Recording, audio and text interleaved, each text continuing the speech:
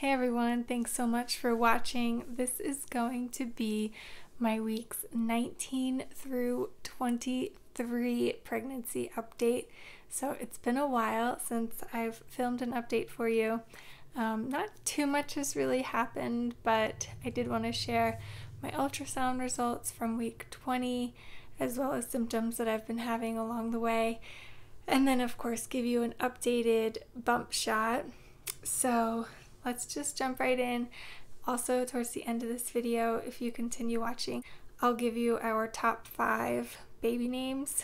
Um, so these will be our top five baby girl names, and one of them we will probably end up using. So that's pretty exciting. We just don't have it figured out 100%, and there's a chance we might still search for other names. I'm just not sure yet. So I'm trying to talk really quiet because Bradley is taking a nap in the next room over. So just bear with me as I try and get through this video quickly and quietly. Okay, so week 19 was pretty uneventful. Um, I think it was mostly just the anticipation for my 20 week ultrasound.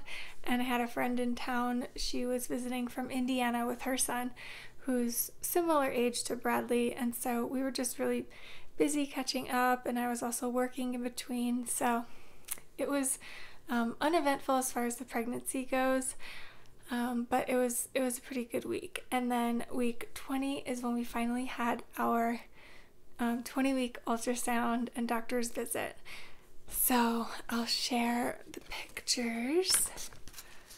Um, there, if you can see it. few good profile pictures and then just girl parts and a foot at the bottom. But I'd say that the top picture is probably the best as far as um, the baby's profile goes. So, yeah, she was kind of in a weird position for the ultrasound, but our tech does such a good job, and she was still able to get all the measurements she needed um, for the baby. And yes, she is still a girl, even though when I did my last video with the at home gender test and both came back with boy, I was like, no, it can't be. But what if? Like, what if the sneak peek blood test was wrong?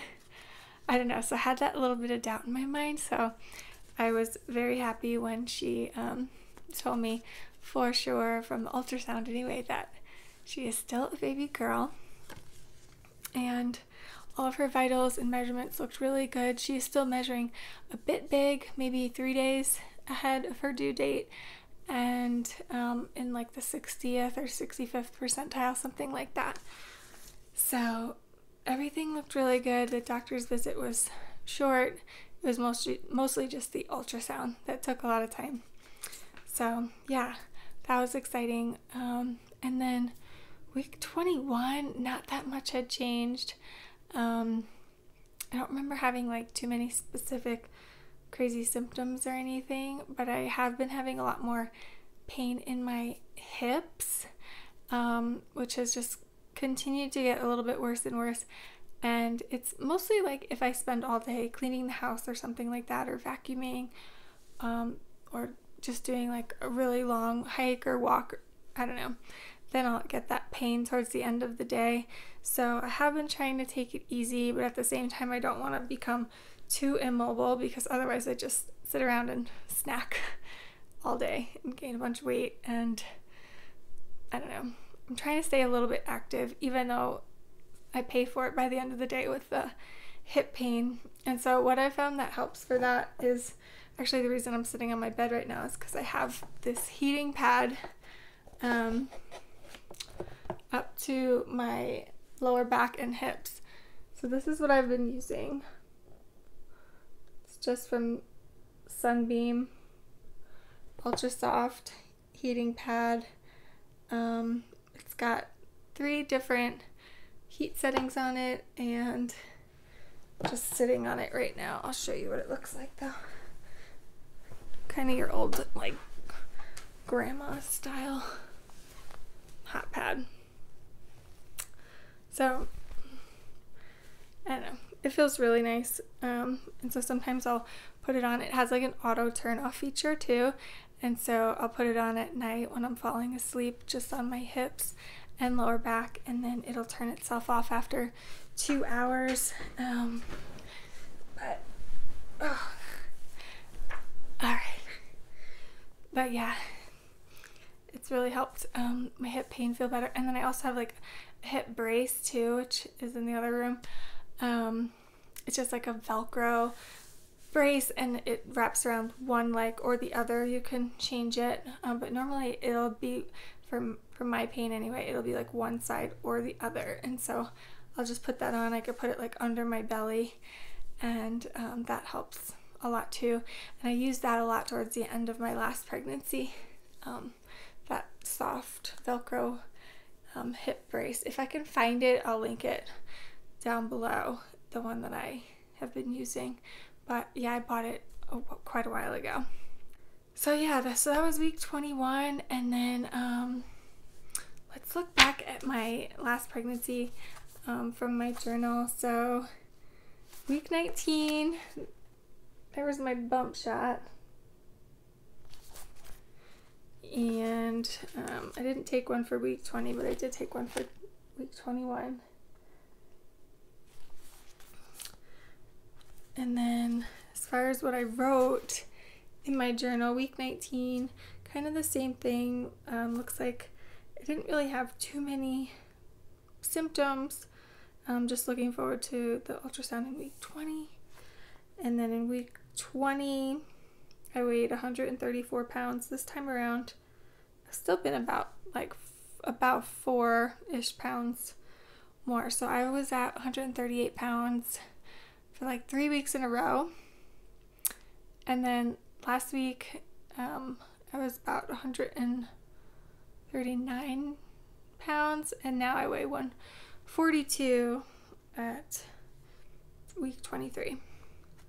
So, anyway, so this says for week 20, we found out we were having a boy. Um, this is when I started getting nosebleeds, my first pregnancy and loving the kicks. Nails are getting really strong again. Right now, my nails have been really brittle, but I think it's just I had some gel nail polish on it. I think it's just tail end of it growing out from where I removed it, and they're just brittle at the tips. So hopefully, they get strong again. Week 21. Um, fall had arrived, my last pregnancy. We did a gender reveal party um, leg cramps. Oh my gosh, you guys, the leg cramps are back and they're so bad. It's my legs and my feet, like my calves, you know, like a Charlie horse in your calf, and then in my feet as well. It's they've been kicking my butt. I need to, I don't know, maybe get magnesium or whatever. I don't know if you guys have any recommendations. Let me know because the the Charlie horses and the foot cramps have been quite bad the past couple weeks. Um, and then I also wrote for week 21 just having trouble staying asleep. That's still the case. I'm usually awake for like two or three hours in the middle of the night. I just can't. I just can't sleep all the way through. Let's see. Week 22, I wrote that I was nauseous again for two days. Um, I haven't felt nauseous lately. Acne's getting worse. Um, using olive oil on my belly and it's clogging my pores, so I think I'm gonna have to give that a break. And looking more and more pregnant. Yeah, so acne has definitely been getting worse again for me too in week 22 this time around. On my back, I've been getting more acne. Um, it's kind of like the painful, big pothole kind of zits. So that's kind of a pain. Um, it's funny that I wrote that olive oil is starting to um, clog my pores on my belly.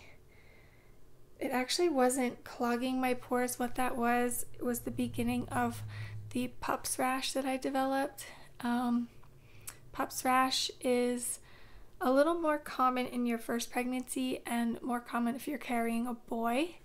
Um, and so I started getting the pups rash pretty bad around 24 weeks, um, but it started from what I wrote here around 22 weeks and it continued throughout the rest of my pregnancy. It was just like this itchy, uncomfortable rash, especially towards the top of my belly, above my belly button. Um, and they don't exactly know what causes it, but that was the beginning signs that I was getting the pups rash. Normally it occurs in stretch marks, um, but I didn't really get stretch marks. I just had the rash like on my skin, and then as soon as my son was born, it just went away on its own. So that was what that was. Um, I don't use olive oil as a moisturizer though now. I still use that CeraVe lotion, which I've showed you in a previous video, the CeraVe moisturizing cream. I love that stuff. And then week 23, I did another pump shot, I think. Let me find it. This was my week 23, and I'll show you my week 23 belly here in a few minutes. That was my bump shot from my last pregnancy, and my weight was 138 pounds. Like I said, now I'm 142, so about four four pounds heavier. Um, this was a great week. I was able to get the nursery cleaned out and organized. I'm taking six months off for the baby. Um, the only thing that bad that happened is that we got rear-ended in the car. Oh yeah, we got in a minor car accident, um, and I was really nervous about it. Obviously, being my first pregnancy and like not knowing how much pressure is okay, but it was a pretty minor accident, and um, it obviously did not hurt the baby or anything like that. And we had another ultrasound. Um, the baby was still head down, but they were able to get the remaining measurements for the anatomy scan. Yeah, I had to do two anatomy scans last time because he was in such an odd position. No more nausea. Just been really hungry, craving Honey Nut Cheerios, and hips are hurting. So this week has been kind of crazy. So we've got the coronavirus um, going on around the world right now, and I was originally planning on taking nine months off after this baby is born. Um, I took six six and a half months with my son, but because of the changes with um, our job situations, um, particularly my husband's job, and me taking unpaid maternity leave, it looks like I might have to take a lot less time off, which obviously makes me sad, but it's kind of just the way it is right now. Um, so I work for the government, and my husband is a pilot. Um, but with everything slowing down in the economy and things like that, we just aren't 100% sure if my husband's job will remain solid throughout this entire, what looks like to be possibly a recession. So with that said, I am mentally preparing that I might only take about four months off instead of nine months off like I had originally planned. So that's what it is right now. Um, otherwise, this past week's just been kind of crazy with, I don't know, everything, everything to do with this coronavirus and all the changes that are going on and kind of the lockdowns and quarantines and isolation. It's just been it's just been tough. So I was sent home from work a few days ago um, because of the potential of being high risk as a pregnant woman. Um, so I appreciate everything our union has done in my job front to send home all those are, that are high risk and those that are pregnant like me that don't need to be um, around so many people and potentially upping my chances of contracting the coronavirus. So I do appreciate that. Um, I was sent home on leave, but it's hard. It's hard just being stuck in the house now. Um, like we go out for walks, and things like that, but otherwise, you know, I just let my husband do all of the grocery shopping and errands that need to be ran. And I stay home with Bradley, and that's wonderful, but it's also kind of lonely. So I hope that things change soon. I hope that people are able to get better, and I feel for those that are financially becoming ruined over this virus. I feel for those that have gotten sick and for those that have lost loved ones. Um, so, my situation, like, I really can't complain. Like, I'm home, I'm with my family, I'm healthy, and I really can't complain about any of it compared to what other people are going through with this virus. So, let's hope that things get better soon. So, with all of that said, I will show you my bump, my 23 week bump, and then I'll share with you the um, five names that we've been considering and one which we will probably use for our baby girl when she's born in hopefully July. Here it is 23 weeks and change.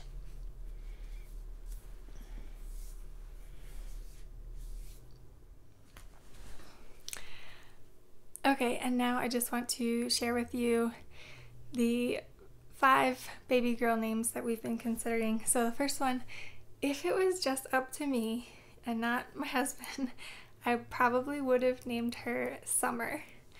I've always just loved the name Summer, and it's perfect because we're having a baby girl in the summertime. Um, but unfortunately, my husband quickly nixed that name, and so unless I could change his mind, it will not be Baby Summer. But that is my top favorite name. Um, number two is Maya. That's another name ever since I was a little girl that I've loved. Um, I just think it's so pretty and classic, and it's not overly popular. And so I thought Maya Ward would be really pretty, but once again, my husband's not in love with it. So don't think we're going to use that name, but still fingers crossed. It's on our list. Um, number three is Carly or Carlin. I just think that name's adorable as well. And I think Carly Ward would be a really sweet name. Um, the only downside I see to Carly is that our son is Bradley. And Carly and Bradley both ending in L E Y, maybe a little too similar. I don't know. It sounds kind of they're they're cute together, but at the same time, it's almost like the names clash somehow in my head. So we'll see. It's still on our list. Um, number four is the name Alana. I've always loved the name Alana as well. If Bradley was a girl, he would have 100% been named Alana and it's still very high up on our list. We might use it, just not sure yet. And then number five is the name Emily. Um, so Emma is extremely popular, but I've always liked the name Emily, which was actually supposed to be my name, but my mom at the last minute decided to go with Sarah instead of Emily. But I love the name. I always wished that was my name, and so that is also very high on our list. So, those are the five names that I love and might be using. I don't think we'll decide for sure until she's born because that's what we did with our son Bradley. We just had a couple names that we went into the hospital with and decided there. So, it's probably what we'll end up doing. But I just wanted to share that with you and um, let me know if you have any recommendations. We're still open to more suggestions or what you think. With all that said, I hope that you all stay healthy out there and I hope that everything can return to as much normalcy as possible really soon. Um, and I will see you in the next video. Take care, everyone.